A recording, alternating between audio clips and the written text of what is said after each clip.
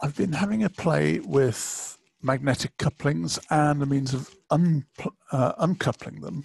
And that led me on to uh, developing a point motor.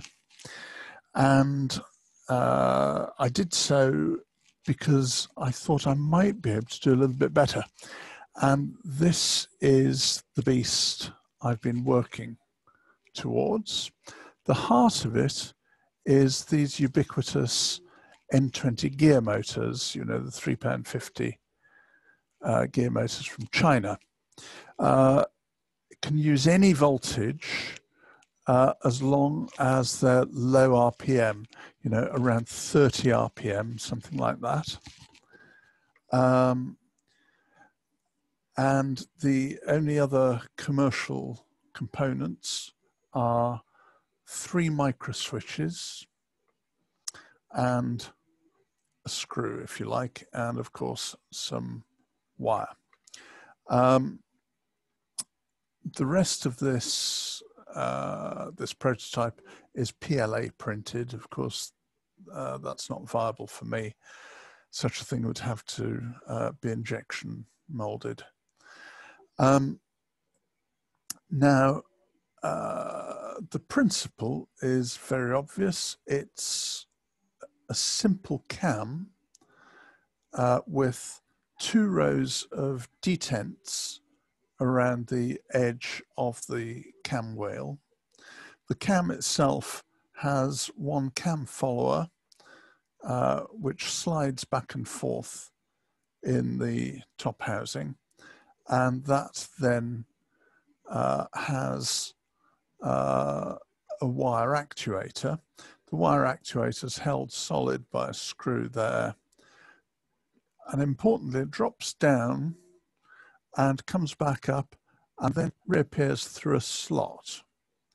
And that slot enables it to spring. Uh, because, of course, the cam uh, gives you a fixed throw uh, which is about eight, eight mils, something like that. And this then gives you a gentle spring, which will hold the blade firmly against the stock rail on either side. Uh, and also allow, of course, for different throws because no, no points have an 8 mil throw. Uh, they're, they're all less. Now, you can vary the strength of the spring, if you like, by either dropping the bend down lower for a weaker spring. Uh, you can, of course, change for piano wire. This is just nickel silver. Or if you want to tighten it, you can put uh, a sleeve on that, which will harden it up. Uh, so there's a lot of games you can play to to alter the characteristics of the actuating wire electrically, it's ever so simple. This one's just got a, a one and a half volt uh, AA battery on and a single switch. And all this switch does is uh, tell it to change. It doesn't tell it to go left or right, it just tells it to change. And there you go. One, like that. And of course, because it's at 180 degrees one way or t'other, uh, it is effectively locked. So there's no way it can drift like a servo drifts, for instance.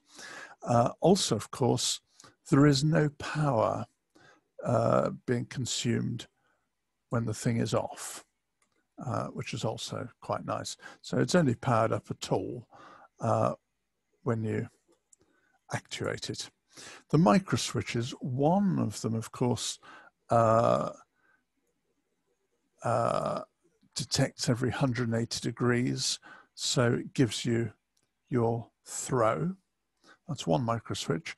Another micro switch um, changes the polarity of your frog, your uh, feed to the frog. And the third micro switch uh, will uh, power an LED indicator showing which way the point is thrown. So the three micro switches uh, will do all your electrical wants, if you see what I mean. Um, it's it's such a simple device, if you like. It it's awfully reliable. Um, that bracket obviously just screws to the underside of the baseboard, uh, and that is really all there is to it. Now, I've done another prototype as well, uh, which is fundamentally the same. The, the switches aren't fitted on that.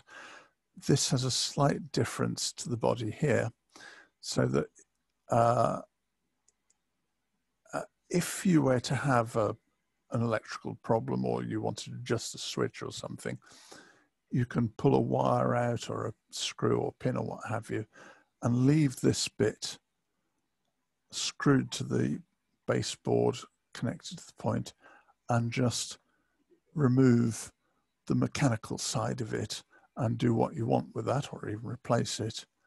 Um, and then when you're happy with it, put it back and then just put the pin back and part A and part B are, are connected again. And, uh, uh and, and Bob's your uncle. It's a very, very simple device, um, not outrageously bulky. It's 50 mil top to bottom there, and I think it's about 65 mil across there, something like that. Uh, this is PLA uh, printed, uh, which is fine for my own personal needs, and I should be banging them out. Obviously, it's a recipe for uh, injection molding or, or, or, something like that.